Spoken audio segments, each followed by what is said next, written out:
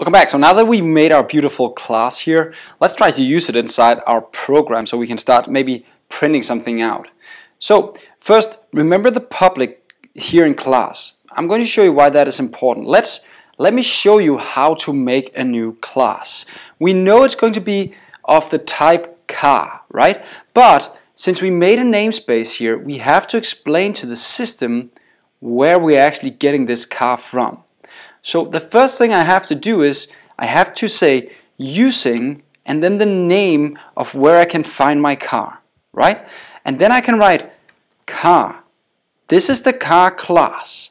And I can call it the car equals new car. So the new keyword is important because now we take a blueprint, the car class, and converts it into the car object.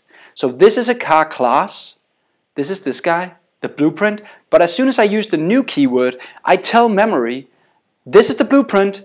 Now open a space in memory where we can fit in a car. So it needs to have room for a make, a year, license plate, da da da da, and it needs to fit in there. So now there's actually an object space ready in memory for the car.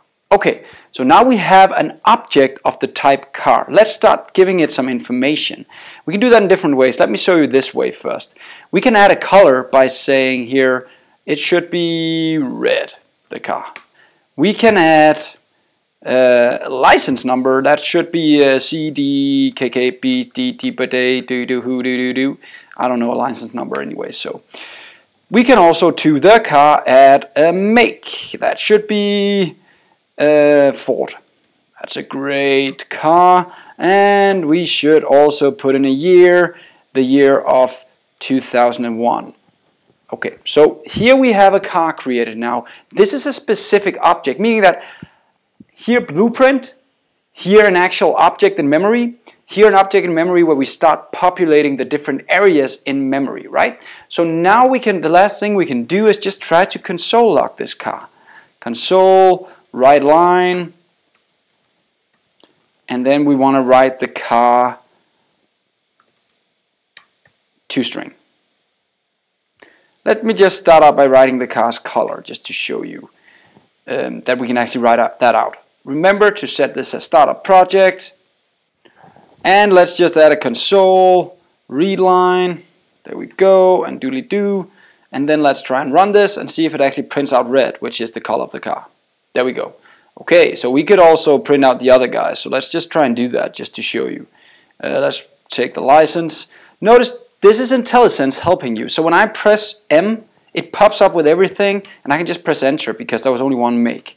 What else do we have? Year, right? So let's just print this now, see if it prints out all the different numbers. Everything seems to be running. We are happy gophers. So let's just stop this. So that's it for this lesson. Now you've actually tried to use a car blueprint to create an actual car object and print it out. Next lesson we're going to try and put in some methods and try to make construct and stuff like that. See you in the next lessons.